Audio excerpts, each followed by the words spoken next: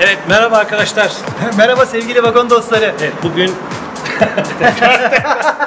sen o zaman şey yap moderatörlüğü sen yap. Tamam. Ha ben bunu oynuyorum. Tamam peki. Merhaba sevgili vagon severler. Merhaba arkadaşlar.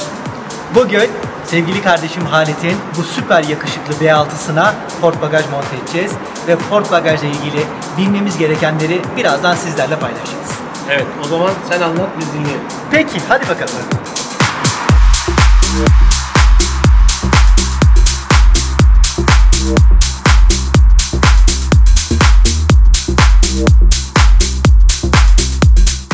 Evet sevgili vagon severler, birazdan bu büyük yakışıklımızın port bagajını nasıl monte edeceğiz? Alırken, takarken, kullanırken nelere dikkat edeceğiz? Bunların hepsini elimizden geldiğince, dilimiz döndüğünce sizlerle paylaşacağız. Biz station wagon araçları niye çok seviyoruz? Çünkü ona ne yapsak yakışıyor. Bildiğiniz gibi arkadaşlar station wagon araçlarda tavan rayları orijinal ekipman olarak aracımızın üzerinde geliyor. Montesi, bağlantı ayakları, bağlantı kalitesi ve önemli olan testleriyle beraber her türlü testlere girerken bu bagaj rayları da bu testlere dahil ediliyor. Öncelikle size bu bağlantı atkılarından bahsetmek istiyorum. Bağlantı atkıları üzerine koyacağımız port bagajın ana iskeletini oluşturuyor arkadaşlar. Tabi bu bağlantı aparatlarında önemli olan mesafeler. Aracımızın mesafesine göre bunları ayarlamamız gerekiyor. Ne çok önde, ne çok arkada, ne de ortada birleşmesi e, bizler için dezavantaj sağlayacaktır. E, çünkü bu port bagajı biz aracımıza aksesuar olarak değil bir taşıma, taşıma ekipmanı olarak koyacağız. Neden vagon araçları tercih ediyoruz? Çünkü gerek yükseklik, gerek yükleme kapasitesi, yükleme rahatlığı, yükleme açısı vagon araçlar için son derece uyumlu.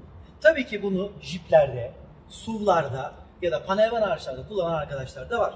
Onlar için birazdan size onlarla ilgili fikirlerimizi, bilgilerimizi paylaşacağız. Şimdi bu yakışıklıya biz güzel bir port bagaj monte edelim. Ama monte ederken port bagajlar nasıl alacağız, neye göre alacağız? Böyle bir B6 varyantımız var. Bu bagajı, port bagajı bu araca göre nasıl belirleyeceğiz? Tabii ki bunu alırken aracımızın tavan uzunluğunu dikkate alacağız. Çünkü her port bagaj her arabaya uymaz.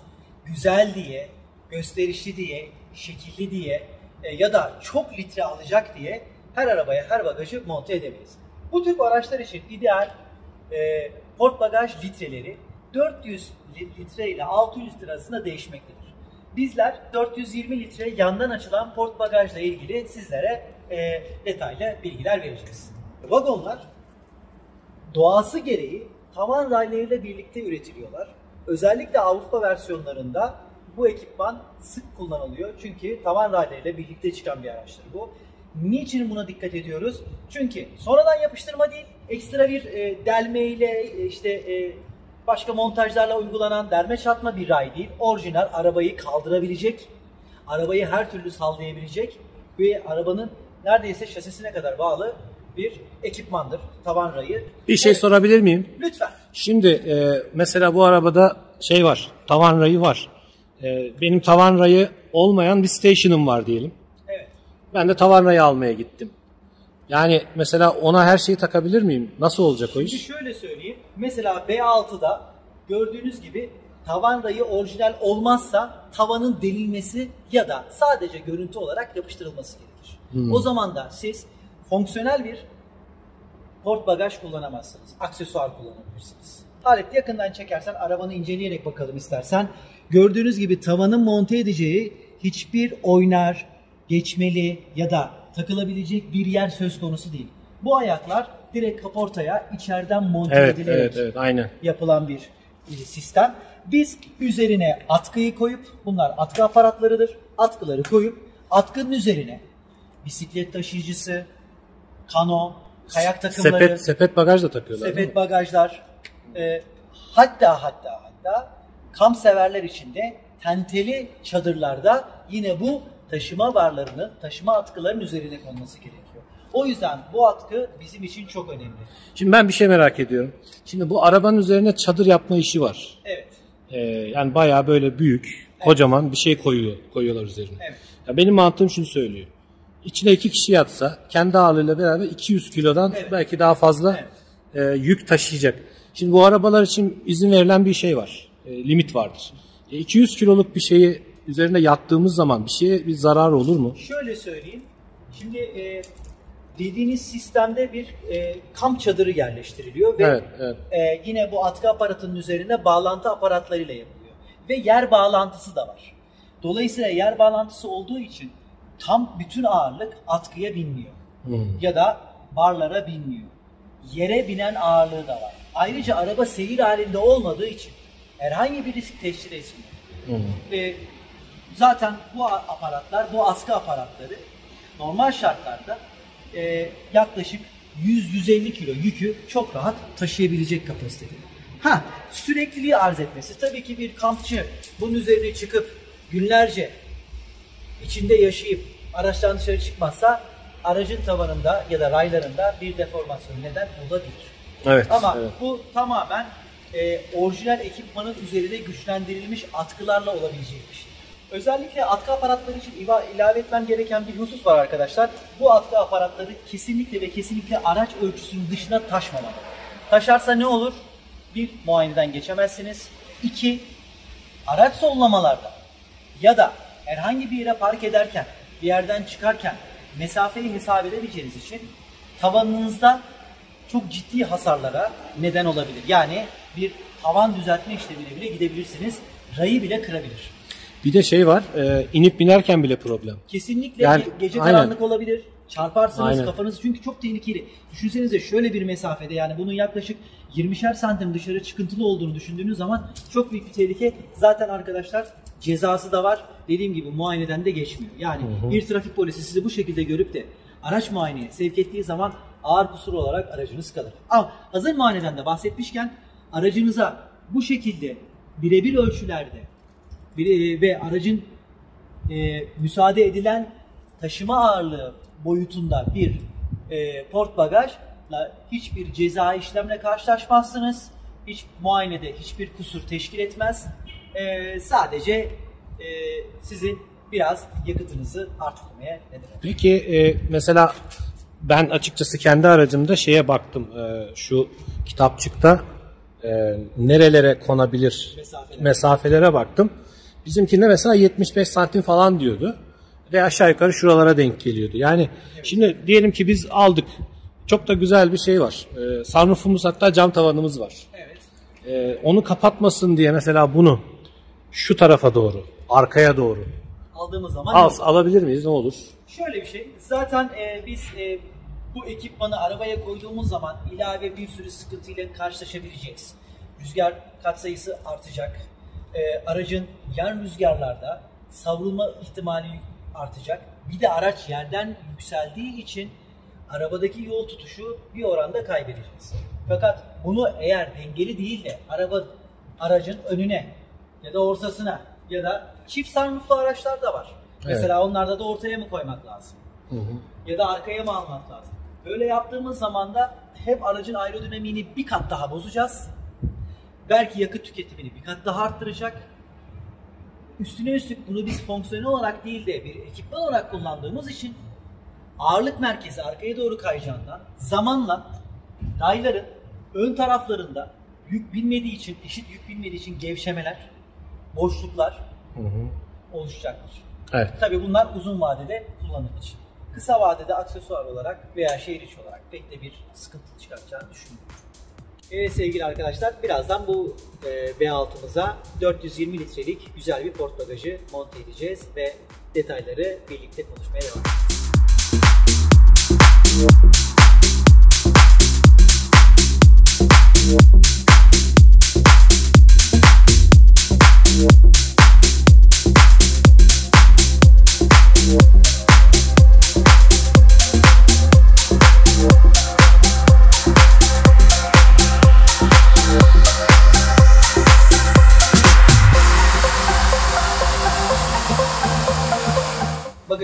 Yerleştirdik, hizalarına dikkat ettik. Biraz önce bahsetmiştim sizden. Muayeneden niye geçiyor? Niçin ekstra bir ruhsata işleme gerektirmiyor? Çünkü ruhsata işlemeyi gerektirmek için bu aparatların kesinlikle bir aletle takılması lazım. Gördüğünüz gibi biz hiçbir şey kullanmıyoruz. Sadece elimizle. O yüzden elle takılabilecek bir yükleme aparatı için ekstra bir ruhsata işlemi durumu söz konusu değil. Yani bu bagajlar ruhsata işlenmiyor. Evet gördüğünüz gibi biz yandan yüklemeli bir bagajı. Bu arada da benim boyum arkadaşlar 1.75 falan. Ve ben 1.75 boyumla bu bagajı çok rahat açıp kapatabiliyorum. Bir de şöyle bir durum söz konusu. Zaten araba araç yükseklikleri yaklaşık 1.85, 1.90 hatta 2 metre olan su e, ya da yükseltilmiş e, e, SUV araçların yanında jipler, panel vanlar bir de üstüne konan port bagajlarda kesinlikle de kesinlikle ben onun bir sadece aksesuardan öte gitmediğini düşünüyorum. Evet, evet, evet. Çünkü bunu yüklemek Çok için önemli bir konu ona birazdan değinelim. Evet değinelim. Aracın yüksekliği değişiyor sonuçta. Evet, kesinlikle yükseklik değişiyor. Yani kesinlikle merdiven lazım. Ee, ki burada da aslında e, hemen basitçe bir şey söyleyeyim size. Bunları koyarken, yaparken aracımız iç e, kuşağından da yararlanabilirsiniz. Evet, buraya Buraya basarak basarak yüklemek daha sağlıklı olacaktır. Çünkü dediğimiz gibi yükleme dengesi çok önemli arkadaşlar. Yani içeriye istediğimizi istediğimiz gibi koyamayız. Evet her şeyden önce kolay olmalı değil mi? Kesinlikle. Son e, bağlantımızı yapacağız. Dediğimiz gibi elle e, bağlantımız var. Burada torklu bir e, kıskaç var. E, askı aparatına bağlanan yerde. Ben güvenli olduğunu düşündüğüm için, emin olacağım için e, aracın yan barına basarak bunu buradan yapacağım.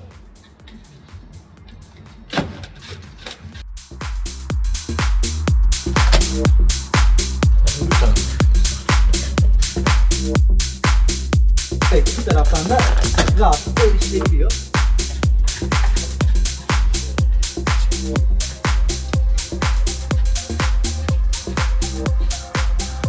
Evet arkadaşlar torklu olduğu için zaten Ostam size ayarını gösteriyor. Yani daha fazla da sıksam bir şey değişmiyor. Hayır hiçbir şey değişmiyor. Ee, aparata zarar verebiliriz.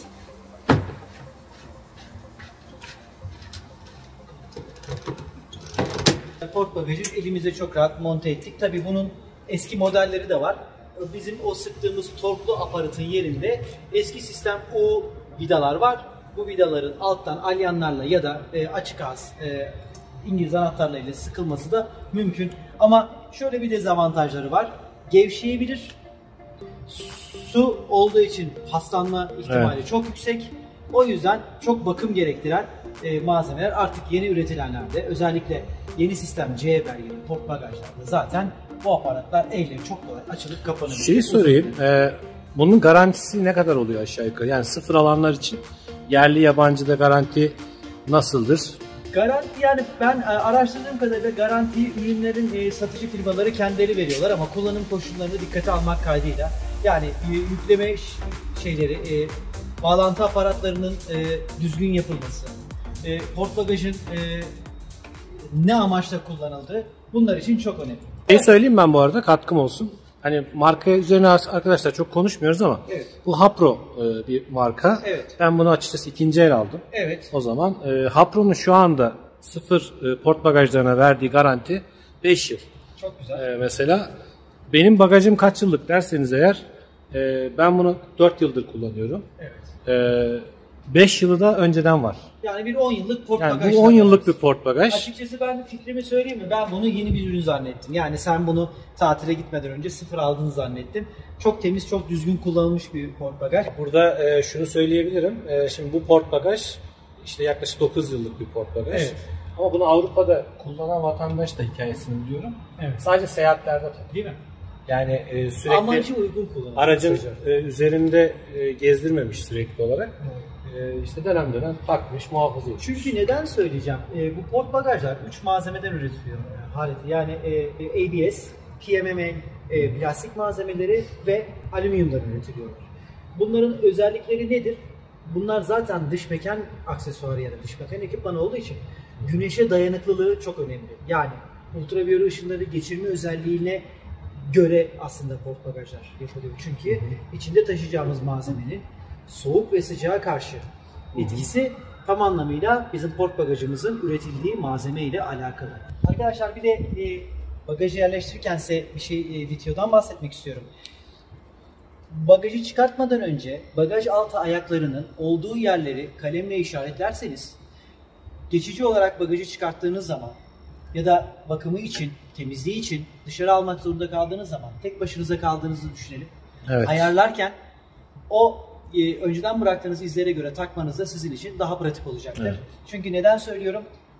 Olabilecek 1 santimlik, 2 santimlik kaymalar bile inanın yüksek süratlerde ve içi doluyken aracınızın balansını bile etkileyecektir arkadaşlar. Yani aracınızı sağa sola gezmesine bile neden olacaktır. Çünkü rüzgarı eşit olarak almadığı için aracınız dengede ilerlemeyecektir. Bunlar küçük detaylar ama sizin için önemli bir özellik.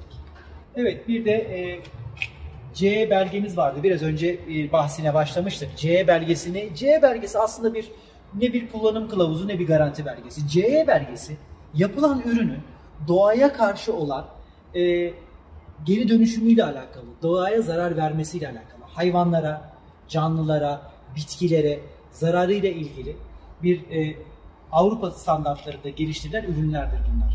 Bu şekilde üretilmesi de e, petrol bazlı olmasından kaynaklandığı için özellikle CE belgesi için gerekli e, içine katkı maddelerini de ona göre koymak zorundalar. Port bagajımızın içinde zaten etiketimiz var. Neyi nasıl kullanacağınıza dair. Yakından da çekebilirsin Halicim. E, bu port bagaj yaklaşık 420 litre. 420 litre olan bir port bagajımızın yaklaşık ağırlığı e, taşıma kapasitesi 85 kilo. Bu e, üstündeki ekipman yaklaşık 17-18 kilo olarak düşündüğümüz zaman biz ekstra 85 kilo değil bu port bagajla beraber 85 kiloluk bir yük elde etmemiz gerekiyor. Bu çok önemli. Yani buna bir yüzlerce kilo yükleyelim. Şunu da alır, bunu da alır. Ee, özellikle bayanlar çok severler bir şeyleri tıkıştırmayı bir yere giderken şu da lazım olur, bu da lazım olur deyip zaten biz bir e, vagon kullanıcısıyız, biz vagon dostuyuz. E, bu da bizim ekstra ihtiyacımızı karşılayacak, memleketten getireceklerimiz olacak, götüreceklerimiz olacak, e, ekstrem sporlar olacak. Ama lütfen yüklemeye çok dikkat edin. Neden arkadaşlar? Bakın sadece dikkat etmeniz gereken evet taşır mı taşır. Yani şu anda Halit'le ikimiz herhalde bir yaklaşık e, 190 kilo falan varızdır. E, ikimizi bu çok rahat taşır ama biz bununla seyahat edemeyiz. Bu çok önemli arkadaşlar. Çünkü içine koyduğunuz yük fren esnasında öne binme gücü ya da işte yan virajlarda yatarken aracın yatarken e, port bagajın sağına ve soluna uyguladığı kuvvet çok daha yüksek rakamlara ulaşıyor. O yüzden siz öne doğru sert bir frende 1.80 kilo değil de 180 kiloluk bir yük yüklediğinizi düşünelim. Çok sert bir frende barı kırabilirsiniz. Atkıyı kırabilirsiniz. Bagaj öne geçebilir. E, kollar yerinden çıkabilir. E, ölümcül bir kazaya ya da ölümcül bir hasara bile neden olabilir. Arkadaşlar bunlar çok ciddi detaylar. Lütfen nasıl olsa bagajımız var diye sonuna kadar yükleyin.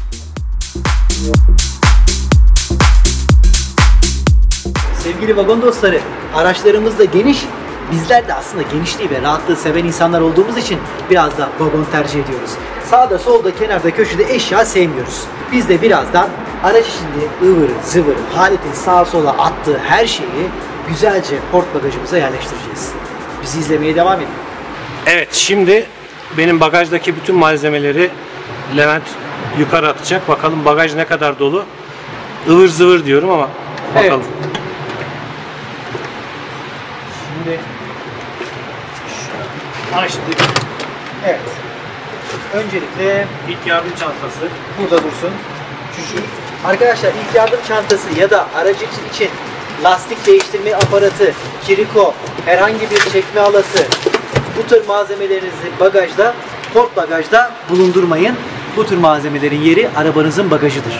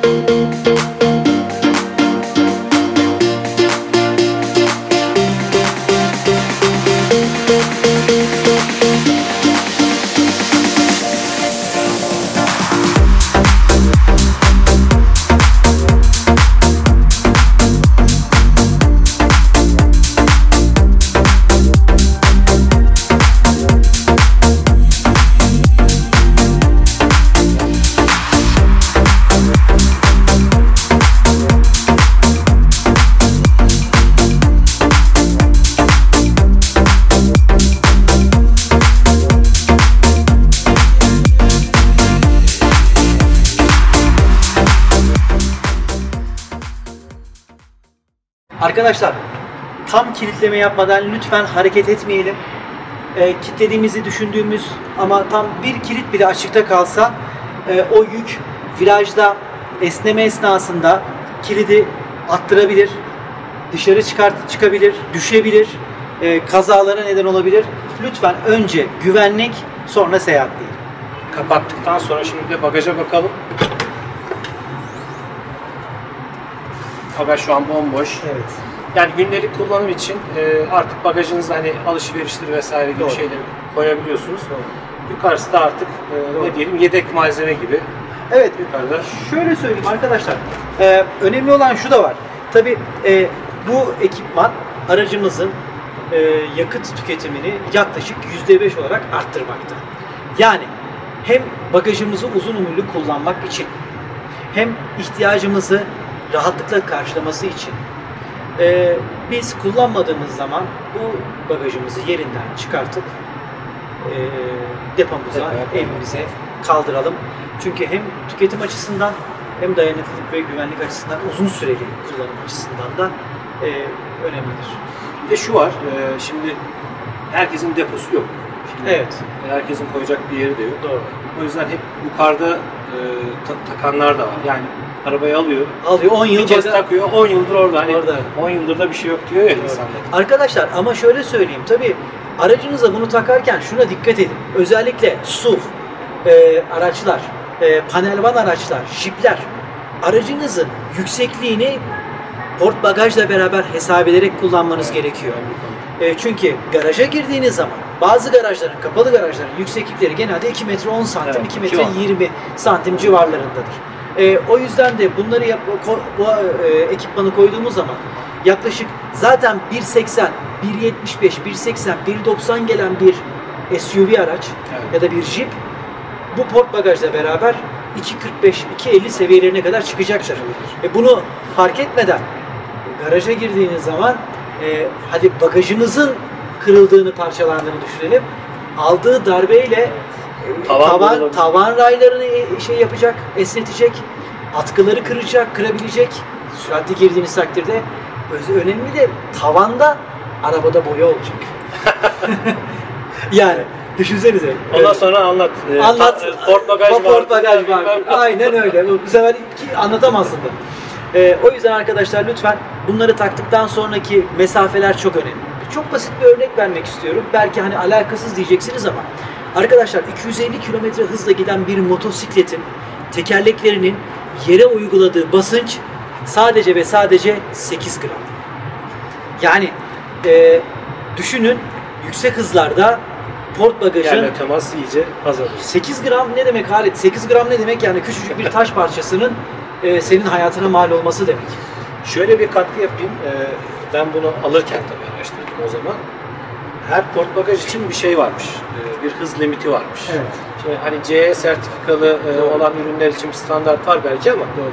bu e, port bagajın da 130 km hıza kadar olan, 90'a kadar olan, 110'a kadar olan versiyonları var. Doğru. Ee, mesela bunda 130 km bölü saati hızı geçmeyin der. Evet. E, port bagaj maliyetleri arkadaşlar biz çok fazla e, Halit'le konuşurken markaya ve modele girmemeye karar verdik ama fiyatlandırma Az açısından da şöyle şöyle söyleyebiliriz. 500 lirayla 2000 lira arasında değişen Değişiyor bir yani. Bu da hac- hacme göre. Yani. segment. Yani şöyle üstündeki ekipmanın e, satış fiyatı yaklaşık 1800 lira falan diye biliyorum. Şöyle e, mesela bu Barlarıyla- markanın yine markaya çok girmiyoruz ama e, 450 euro civarında sıfır. Ben Evet. bunu 4 yıl önce ikinci el aldım. E, herkes bilsin yani. 800 TL'ye aldım. Da ikinci el olmak kaydıyla. İkinci el olmak kaydıyla. Yani şunu görüyorum. e, gerçekten heves var. Hani gerçekten işte hatchback araç arabalar çok tercih ediliyor ülkemizde.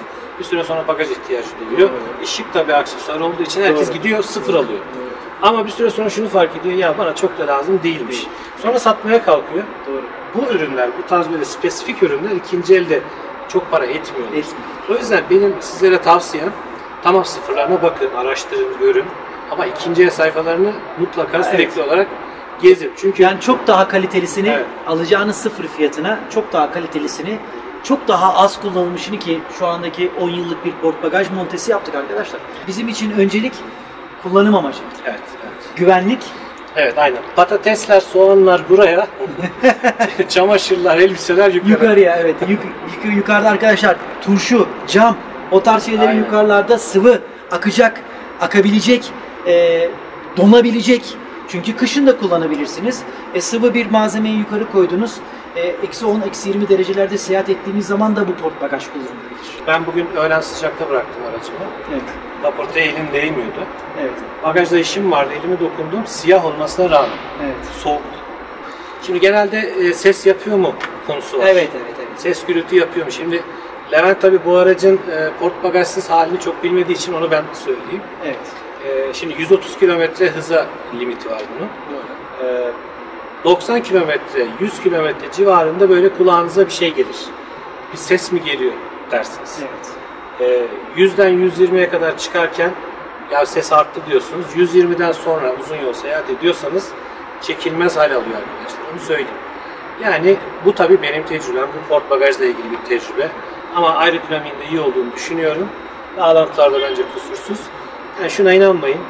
160 bastım, 190 bastım. Hiç gürültü yok. Mümkün değil. Bilmiyorum o hani kulakla Ya işit olur. Şöyle belki de aracın motorunun gürültüsünden Belki. e, o anda hani ek e, seslere kulak aşinalığı değil. Yani bizler biraz da titiz kullanıcılarıyız.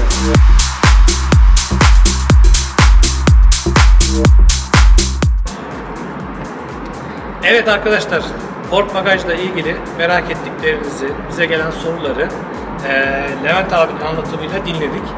Eee, Kusurlarımız varsa sürçünü ihsan ettiysek affola diyorum. sorularınız varsa lütfen yoruma belirtin. Kanalımıza abone olun. Station Wagon severleri kanalımıza ve sosyal medya platformlarımıza Evet. davet edin. Sizleri bekliyoruz. Arkadaşlar yükünüz sadece eşya olsun. Yükünüz eşya olsun. Görüşürüz.